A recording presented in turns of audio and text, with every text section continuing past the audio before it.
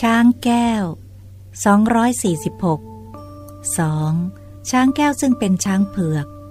เป็นที่พึ่งของเหล่าสัตว์ มีฤทธิ์เหาะไปในอากาศได้ เป็นพญาช้างตระกูลอุโบสถ ได้ปรากฏแก่พระเจ้ามหาสุทัศนะ เท้าเธอทอดพระเนตรแล้วทรงพอพระทยัย ด้วยพระดำริว่า ท่านผู้เจริญ พาหนะคือช้าง ถ้าได้นำไปฝึก จะเป็นสัตว์ที่เป็นมงคลแน่แท้ ทันใดนั้น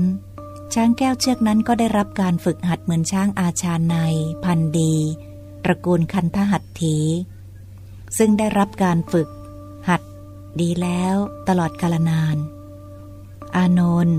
เรื่องมีมาว่า เท้าเธอเคยทรงทดสอบช้างแก้วเชือกนั้น โดยเสด็จขึ้นทรง เวลาเช้า และเสด็จเลียบไปตลอดแผ่นดิน อันมีมหาสมุทรเป็นขอบเขต เสด็จกลับกรุงสาวดีราชธานีทันเสวยพระกยาหารเช้า ช้างแก้วที่ทรงคุณวิเศษเห็นปานนี้ ได้ปรากฏแก่พระเจ้ามหาสุทัศนะ